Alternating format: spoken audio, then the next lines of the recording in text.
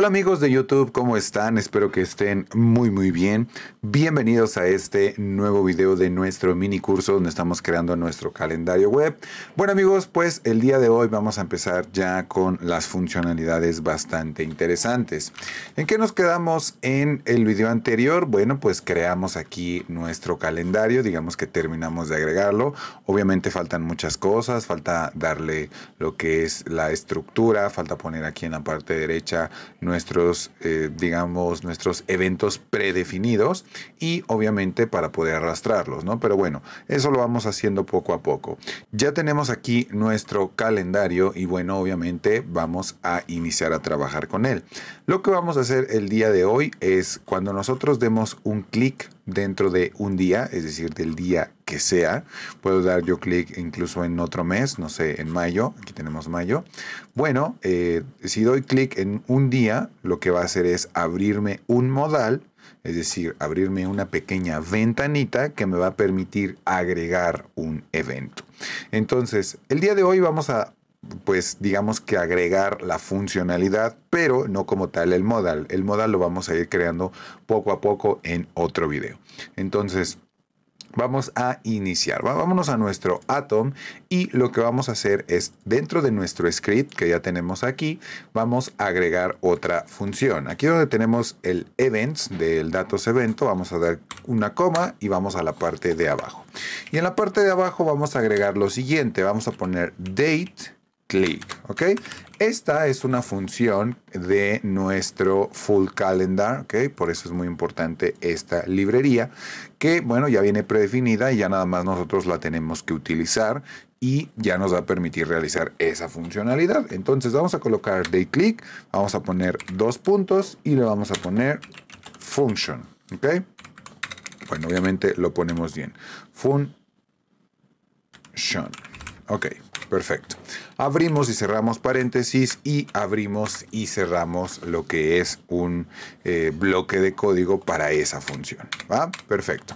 Ya tenemos aquí nuestro bloque de código y ¿qué seguiría? Bueno, pues dentro de esto, mm, en teoría nosotros ya podemos colocar cualquier código. Vamos a probar.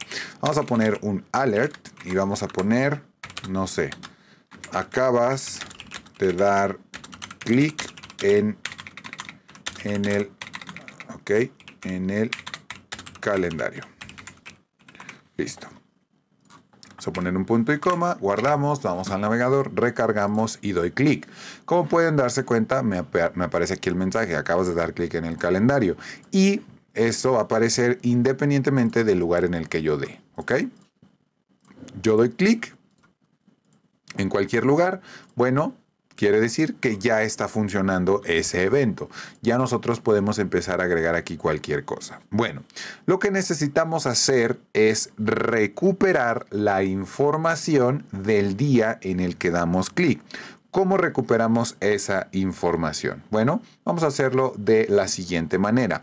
Vamos a eliminar este alert, ya vimos que está funcionando de manera correcta, y vamos a solicitar como parámetro info. Info nos va a permitir obtener la información del día en el que nosotros estamos dando clic. ¿Cómo la vamos a obtener? Bueno, la vamos a obtener de la siguiente manera. Miren, vamos a hacer una prueba. Vamos a colocar aquí un alert, punto y coma, y vamos a utilizar la variable info, str. ¿Qué es lo que nos va a traer DateStr? Bueno, pues vamos a verlo. Recargamos, damos clic en cualquier lugar y como pueden darse cuenta me aparece aquí 2022-0330. ¿Por qué? Porque yo, yo di clic aquí, ¿ok? En este que tenemos acá. Bueno, vamos a dar clic en el... Eh, en el cuadrito amarillo que tenemos aquí, que significa el día de hoy. Hoy estamos a 5 de abril de 2022. Si doy clic ahí, me va a devolver la fecha del día de hoy. 5 de abril del 2022. Recuerden que me pone este formato, es decir, primero el año, luego el mes y luego el día, porque así es como lo almacenamos dentro de nuestra base de datos. Entonces, por eso es importante localizar bien ese, ese formato, ¿no? Bueno, perfecto. Entonces ya tenemos aquí nuestro eh, pequeño, nuestra pequeña fecha, ya estamos recuperando la fecha en la que damos clic. Pues listo, con esto ya tendríamos nosotros, digamos que la base para poder agregar nuestro evento. Obviamente faltan bastantes cosas, no se preocupen, las vamos a ir agregando poco a poco, pero lo que quiero que vean es cómo, digamos que nuestra librería de Full Calendar nos permite hacer algo tan complejo que nosotros veríamos complejo crear ese código, ¿ok?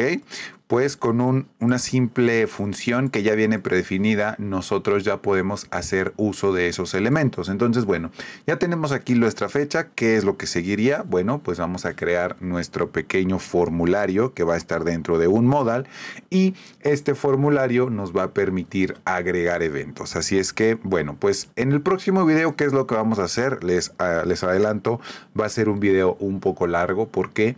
Porque lo que vamos a realizar va a ser la creación de ese modal, que eh, creo yo es el modal más importante de todos, porque, eh, bueno, este modal tanto como nos va a servir para, para agregar un evento, bueno, también nos va a funcionar para poder modificarlo. Entonces, bueno, vamos a dejarlo hasta aquí amigos. Si tienen alguna duda acerca de esto, no se preocupen, déjenme su duda debajo en los comentarios o pueden mandarme también las dudas a las redes sociales para que yo les pueda responder un poquito más rápido.